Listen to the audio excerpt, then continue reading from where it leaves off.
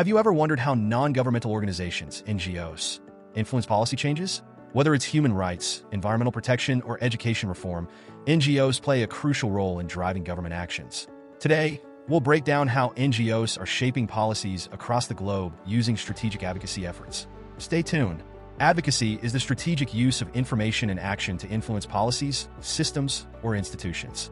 For NGOs, advocacy serves as a powerful tool to bring attention to underrepresented issues, hold governments accountable, and push for long-lasting changes. NGOs create advocacy campaigns by building strong evidence around the issues they care about. This includes conducting research, gathering testimonials from affected communities, and crafting clear policy recommendations. The success of these campaigns often depends on how well NGOs mobilize their supporters and engage with policymakers. At the local level, NGOs often focus on community-based advocacy. This involves working closely with local governments, municipalities, and community leaders to address issues that directly impact people's lives, such as access to healthcare, education, or clean water. Nationally, NGOs use lobbying as a way to influence lawmakers and government officials.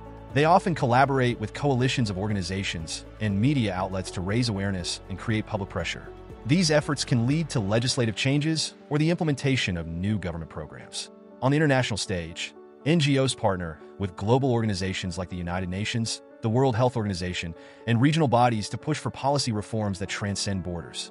Their efforts can help shape treaties, international agreements, and global movements on issues like climate change and human rights.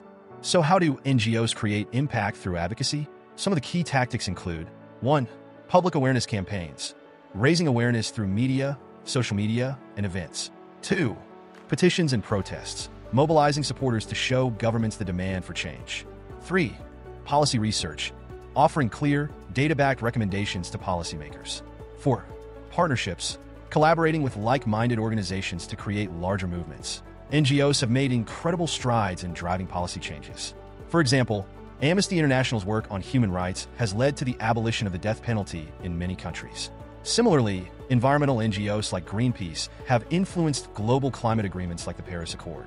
Advocacy is a critical tool that NGOs use to influence governments and shape policies that affect millions of lives.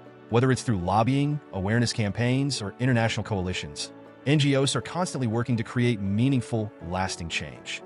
Be sure to subscribe to Funds for NGOs for more insights into how NGOs can maximize their impact.